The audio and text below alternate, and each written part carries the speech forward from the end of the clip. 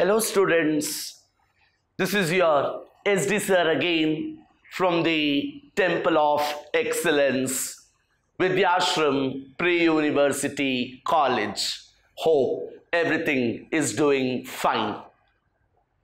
Dear students, in my first concept class today, I will be discussing the chapter electric fields and charges. What do we actually study in this chapter? A very, very fundamental concept called electric charge. Right in your first textbook, chapter 1 to the last chapter, alternating current, we continuously deal with something called electric charge. Therefore, in my today's class, we will have a thorough understanding of what is an electric charge. We study the properties of electric charge and in this session we will also understand a few methods of charging a body. So very simple. What do I do in this session? I will understand what is the meaning of an electric charge I will understand the physical properties of an charge and then we will also understand the different methods of charging a body. Now dear students, before going into depth, the understanding of electric charge, we will first try to understand something called as electrostatics a very important term something what we call as electrostatics. In my previous discussion i had told the first two chapters charges and fields potential and capacitance they are connectors why did they call as connectors? Because all those concepts are required to understand the master concept electric current. Today please note that both those chapters electric charges and fields, electric potential and capacitance. They are discussed under a unit called electrostatics. Therefore, first I will understand what is electrostatics.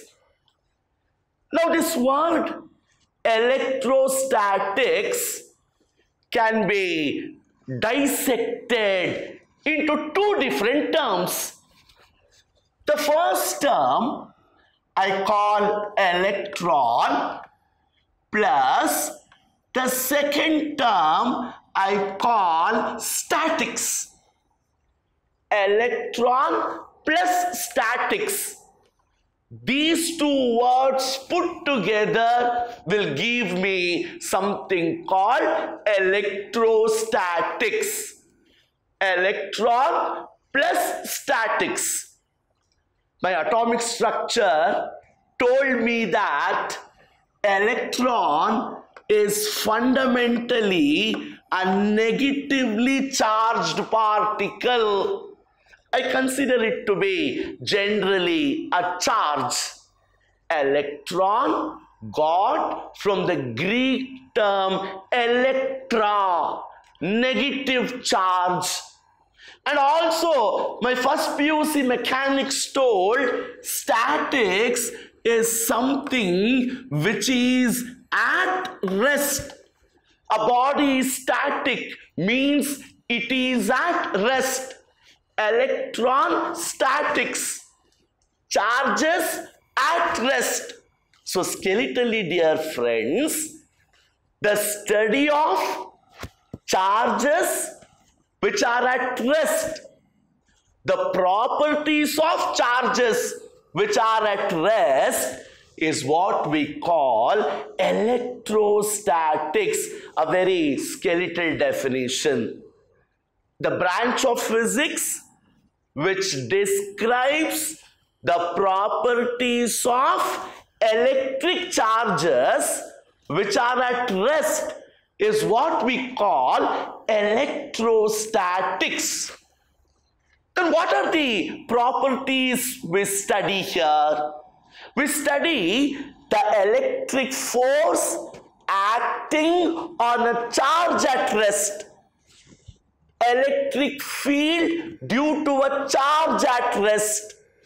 Electric potential due to a charge at rest. Maybe torque acting on a dipole due to a charge at rest. These are all the different features, different properties we are understanding with respect to a charge which is at rest discussed under electrostatics. And therefore, we also call it as static electricity. So my first thought for y'all is to know what is electrostatics where we tell it is a branch of physics explaining the different properties of electric charges which are at rest. What were the properties we told? Maybe electric force acting on that charge, maybe electric field due to that charge, completely in depth next we study electric potential, torque, etc. And all these things will give me what is called electrostatics. Now, my dear friends, a very important concept, what we call electric charges. Right from your lower class, the word charge has been used umpteen number of times, many number of times. But did we ever make an attempt to understand what is a charge? Did we ever screw up our brains trying to know what is an electric charge? If not, in today's session, I will be doing that. The definition says a charge is a fundamental property of matter. Please to highlight. A charge is a fundamental, a very basic property of matter because of which matter exhibits electrical effects. Very beautiful definition. A charge is a fundamental property, a basic property of matter because of which matter exhibits electrical effects which means to understand if there has to be any electrical effect, there has to be the presence of a charge. But in depth, what do I understand? We consider the following examples. I will consider a conductor which conducts electric current. How is it possible? A conductor has abundance of electrons and we told moving electrons electrons in motion constitute electric current maybe a copper wire aluminium wire etc which means absence of those electrons in the conductor will not constitute electric current. So no electrical effect called current if there is absence of electrons. Ionization in a gas if there are no positive ions or negative ions in a gas, ionization is not possible. Again, absence of an electrical effect. A very, very beautiful phenomenon called photoelectric effect. Light of suitable frequency falls on a metal immediately free electrons are liberated. My dear students, if those free electrons weren't present in the metal, no photoelectric effect. Therefore, any electrical effect happens only when there is presence of an electric charge. Therefore, my fundamental understanding says electric charge is a fundamental property a very basic property of matter because of which there can be electrical effects. Absence of charges clearly means there is no electrical effect. So, to summarize, within a single statement, please to know if at all matter exhibits electrical effect, there has to be presence of electric charges. Now, slightly to upgrade my thought, level 2 definition of an electric charge. It says charge is also the physical property of matter. Fundamentally i understood it constitutes electric effect. Now it is also the physical property of matter where matter exerts electrical forces. Because of charge matter exerts electrical forces and also responds to electrical forces. Beautiful.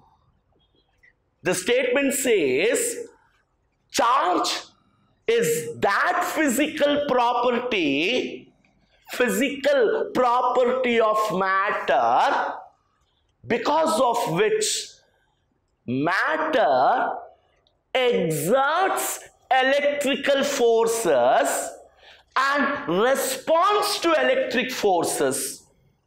What do I mean by this? Very well my experiments have shown there are two kinds of charges which I consider. A positive charge and a negative charge. I'll confine myself now to a positive charge as well as a negative charge. So I consider two positive charges plus Q and plus Q. What is the nature of interaction between them depends upon their polarity. Both of them are like charges, positive charges. And I know like charges always repel each other. Repel, just go away. Once we have attack fight with our friends, we go away. We repel away. The word repel means going away from each other. Dear students, could this repulsion happen if there was no charges? No. Only because I have two like charges, an interaction in the form of repulsion has taken place. Similarly, if I have unlike charges plus q and minus q, we see they always attract each other. They come towards each other. And this interaction is possible only because there are two unlike charges. See beautiful. Repulsion or attraction. In single terms interaction is possible only due to the presence of charges. Again if the charges are absent there are no electrical interactions. So two definitions i come across here. The first one basic fundamental definition of electric charge which means only if there are charges, matter exhibits electrical effects. The physical definition says only if electrical charges are present there are electrical interactions. So for any electrical interaction to happen for any electrical effect to be witnessed for any electrical phenomenon to take place there has to be presence of electric charges. Now Going to the next concept, a very important concept, what we call as properties of electric charges. Very important because this is either asked for 2 marks or 3 marks very frequently in your examination properties of electric charges very very important question. Either asked for 2 marks or 3 marks. Now after i have understood what is an electric charge after i have understood for any electrical interaction there has to be electric charges. My now I will try to understand the properties of electric charges. The first property is called additivity of electric charges. Very key property. Electric charges are additive in nature additivity of electric charges. Now, what do I mean by that? I will consider a system which has a large number of point charges. I will highlight on the term point charge a system, a conductor which has a large number of point charges. What is a point object? I will consider a train traveling from Delhi to Kanyakumari. My dear friends, the length of the train is very very small compared to the distance it travels. I repeat, the length of the train is very very small when compared to the distance it travels. It is a point object. Just to say very small objects, point something which cannot be extended. So point charges means very small charges. So, if a system comprises of large number of point charges. For example i say it comprises of plus q1 minus q2 plus q3 etc because charge can be positive or negative. If a system comprises of large number of point charges, the total charge of this system, the total, the entire charge of the system is the algebraic sum. Beautiful word. Algebraic sum. See, not simply the sum. Algebraic sum of all individual charges. He says, in a system, if you have large number of small point charges, then the total charge on that system is the algebraic sum of all those individual charges. My dear students, I would have simply used the word sum. No, I am using algebraic sum. What is the significance of that term algebraic? I told charges can either be positive or negative. So even the negative sum has to be considered, no? Taking into account both the positive sums and the negative sums is what we call the algebraic sum. So here afterwards, please be careful with this term. Even in Kirchhoff's laws, we use algebraic sum.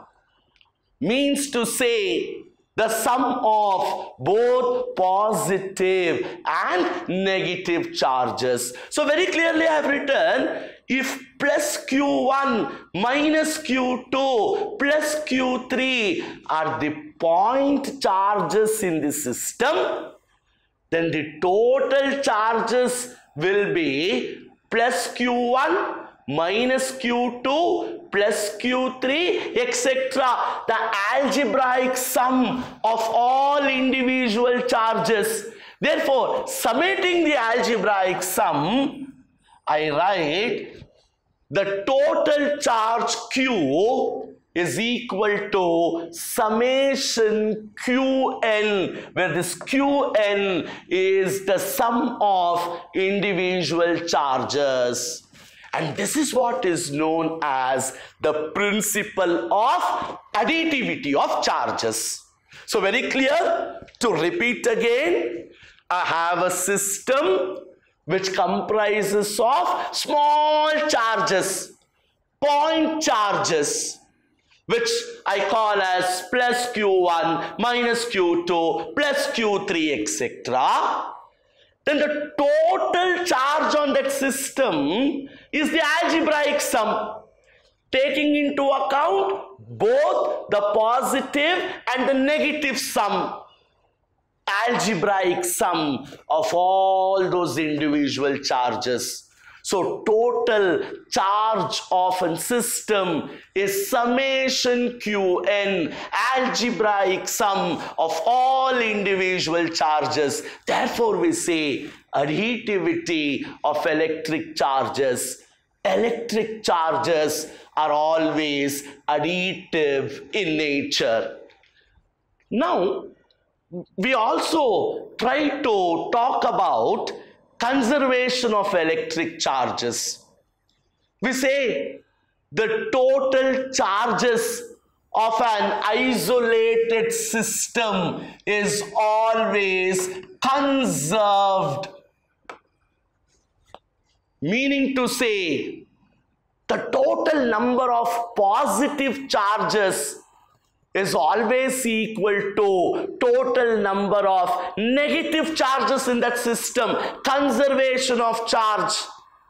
This is very very important for the neutrality of matter. The electrical balance of a system that is established only because of the principle of conservation in any isolated system what should happen charges should be conserved which means the total number of positive charges is always equal to the total number of negative charges. Fine. The third one, the queen of all properties, quantization of electric charges. Very important quantization of electric charges. The most basic phenomenon in physics, quantization. To understand what is quantization, we will take an example to see the energy that is thrown out from the sun, radiations carrying energy from the sun. Although they appear to be continuous, although it seems sun is radiating energy continuously, it doesn't happen. No source of energy can ever be continuous. They are in small, discrete, discontinuous packets, what we call as quanta or what is also called as photons. Whenever there are volcanoes, earthquakes, you see the army people dropping food packets, dropping shelters from helicopters.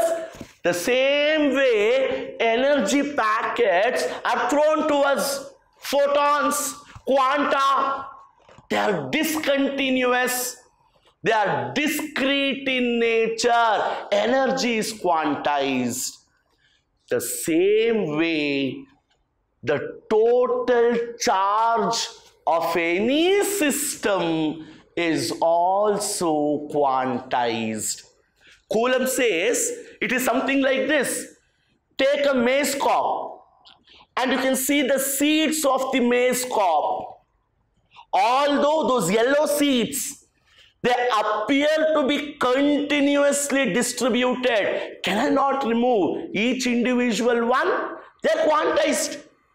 The seeds may appear to be distributed continuously, but still I can pick each individual seed, quantization of seeds, which means although the charges on a conductor appears to be continuous it is not like that.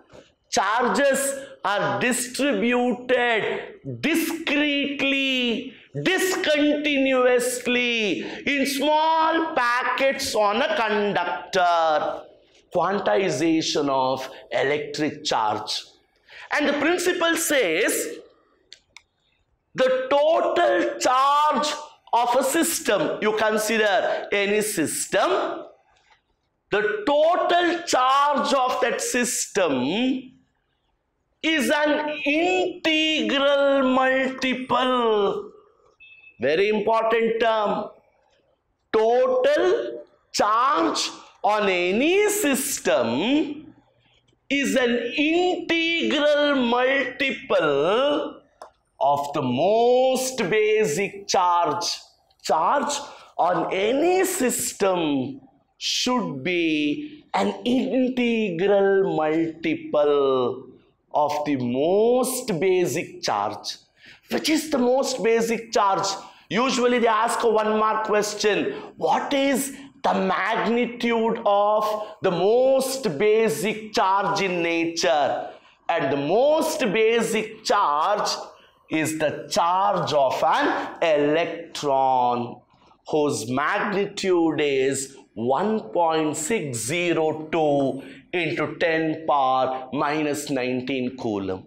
So what I understand here is any system the total charge on that should be an integral multiple of what?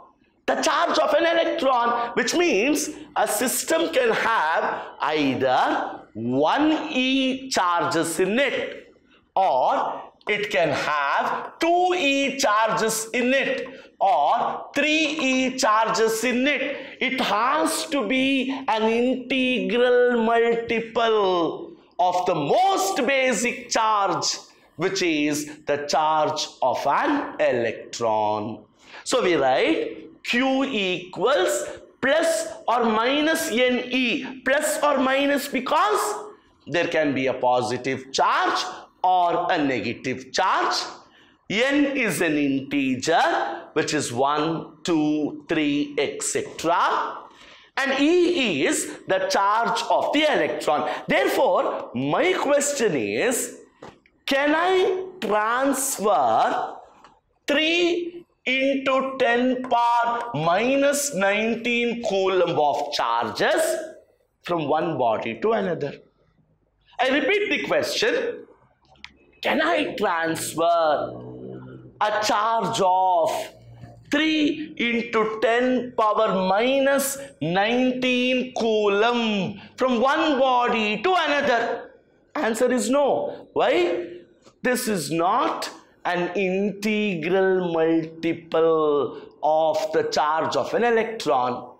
If E is 1.6 then next it has to be 3.2 next 4.8 only integral multiples of the charge of an electron can be transferred from one body to another therefore we say charges are quantized.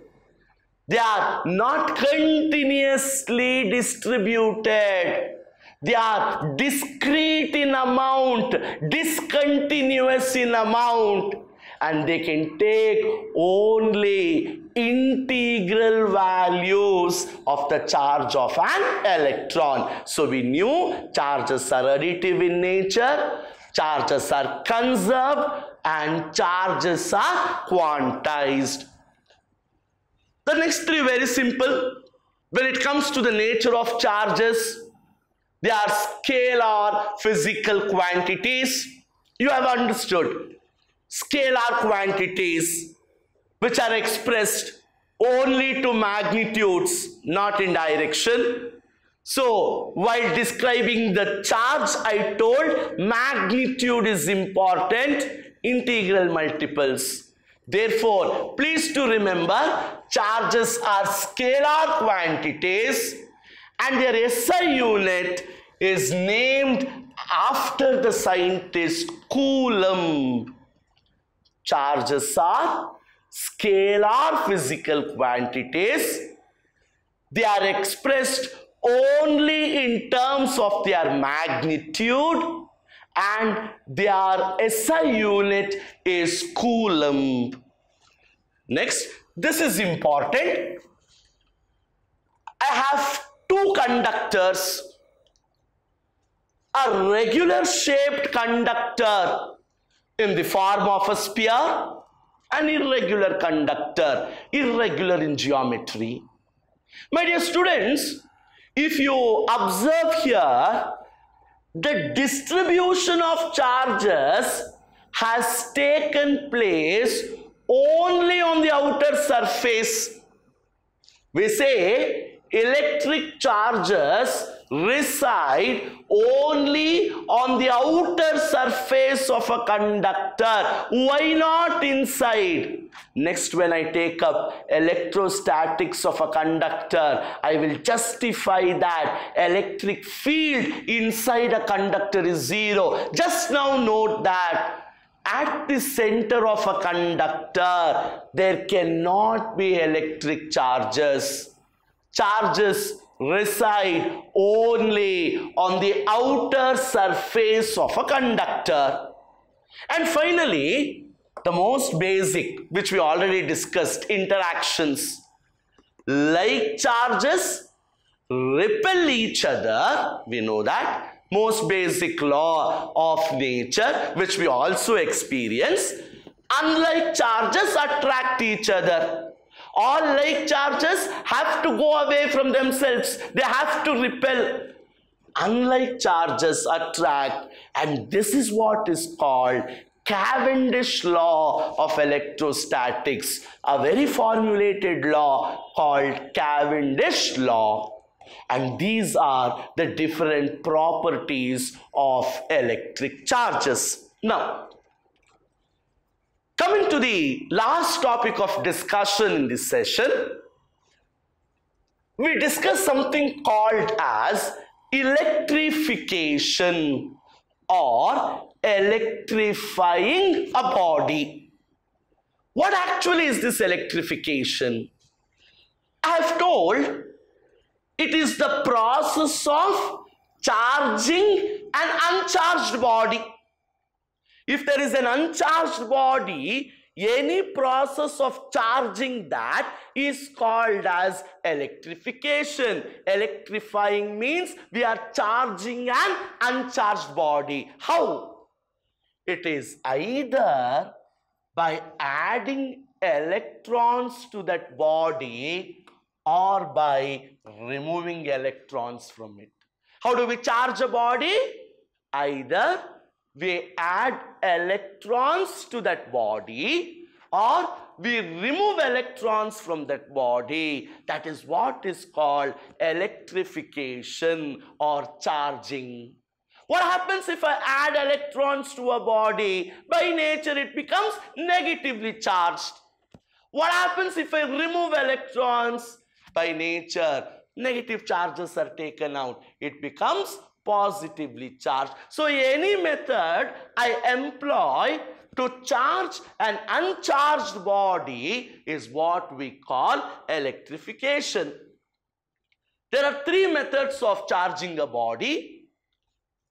Charging by friction, charging by conduction and charging by induction. Third one better important, charging by induction Whenever I try to charge a body through induction, induce, the word induce means give a property to a material which it did not have by birth. A conductor, an uncharged conductor, do not have any charges by birth. I have to induce charges. Then I have to bring a charged conductor near it without physical contact. During induction, both the bodies should not be in physical contact. And after induction, both the bodies will acquire opposite nature of charges. If I'm bringing a body A, which is positively charged towards an uncharged conductor B, then B will take negative charges. So this is what we call inducing charges. A body did not have charges by birth, but using a charge conductor, I am inducing. So in my next session, we'll talk more about the charging process and very importantly, I take up something called Coulomb's law of electrostatics, probably the defining law of electrostatics. So just have a revision of whatever is done in this session, meaning of a charge, properties and electrification. The next session will be crucially important. Waiting to meet you all until then. Thank you.